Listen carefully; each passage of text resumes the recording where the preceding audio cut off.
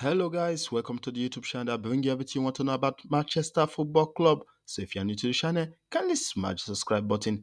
And if you already subscribed to the channel, thanks for doing that. Guys, quick one. As our new head coach has made a list of players that he would love to sign. And the first in the list is no other than Christopher Nkunku. Guys, the Chelsea man wants, wants to play regularly and he wants to play in Champions Europe Premier League. Guys, he came to the Premier League just to play in the Premier League, but now he's not having all the time he wants in Chelsea, and a new a new admirer is already in the floor because our new head coach Ruben Amorim is a big fan of Christopher Nkunku and he wants him, and he is now one of his first target to sign. As Chelsea are still looking for a way to let the player go, we know the player he have a injury problem, but Amorim love the way he play, love he, head forward, he love the everything about the player. So Christopher Nkunku to to Manchester United, I think it will be it will be a deal to keep an eye on because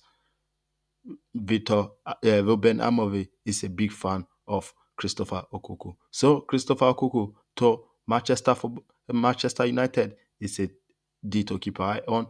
Please don't forget to smash the subscribe button, like this video, and follow us for more Manchester United content. See you in the next video. Stay safe.